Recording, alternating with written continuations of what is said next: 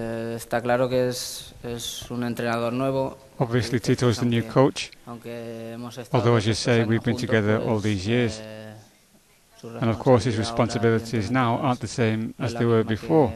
que antes, pero, pero no, no hay más presión. But there's not any more pressure. año Este, este cu- Because every year this club and this team demands the máximo y este maximum, año, pues, es and it's the same this year as well.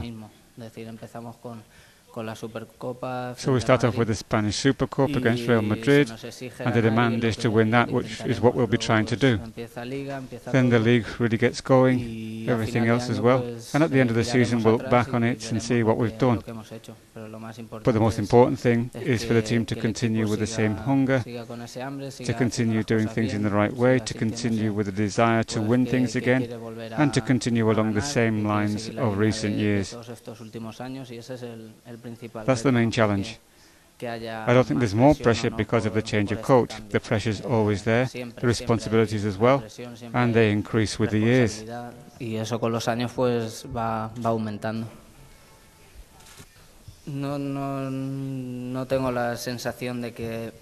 I don't have the feeling that the key over recent years has just been four players in particular.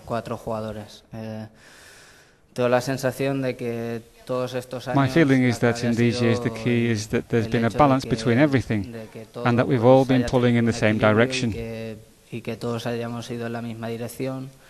Eh, pero, pero no hablo solo But I'm not only talking about the players, I'm talking about everything that surrounds the envuelve a los players as well.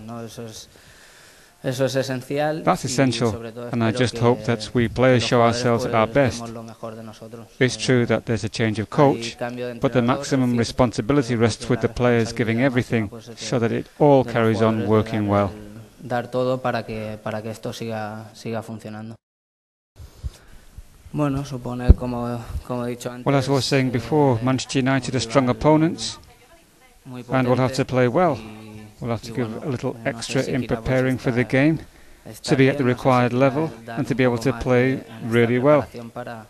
and so to carry on getting better in this pre-season para hacer un period that we're in. partido, Para seguir mejorando en, en todos estos días de, de pretemporada que llevamos. Y bueno, And really the only objective is to get better and to look to get to the competitive games in our best form. And we'll need that form against Manchester mejor forma y United. Manchester pues nos exigirá eso.